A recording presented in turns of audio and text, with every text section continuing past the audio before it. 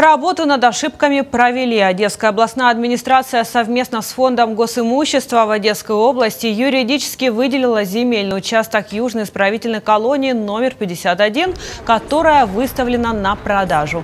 Такое решение было принято по многочисленным просьбам инвесторов четко распределить границы земельных участков, ведь на территории находятся три государственных структуры.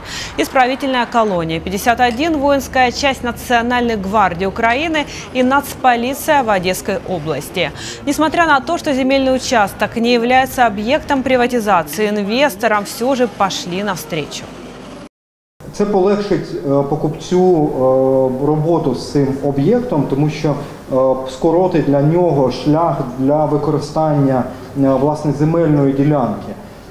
Про це вказували інвестори в такому спілкуванні. Ми навіть отримали декілька запитів, що Письмових звернень, адміністрація також.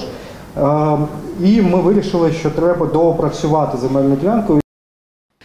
Напомню, Южную исправительную колонию номер 51 в Одессе выставили на аукцион в рамках проекта «Большая приватизация тюрем». Цена лота стартует от 223 миллионов гривен. Отмечу, ежегодно на содержание исправительной колонии государство тратит 18 миллионов гривен. В Министерстве юстиции говорят, продажа этого госимущества поможет государству не только разово заработать, но и достаточно сэкономить в будущем.